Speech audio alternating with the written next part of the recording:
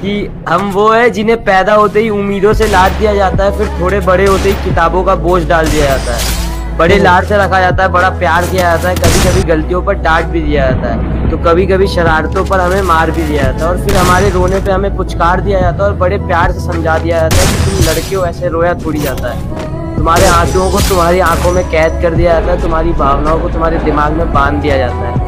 तुम्हारी काबिलियत तुम्हारे मार्क्स पे जज की जाती है तो तुम्हारी औकात तुम्हारे कपड़ों से ही बता दी जाती है।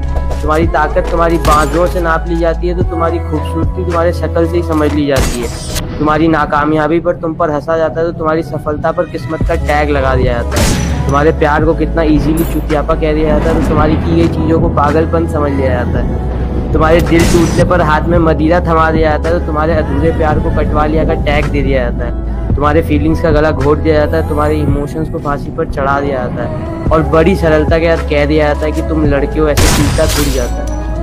अरे क्या बात है यार।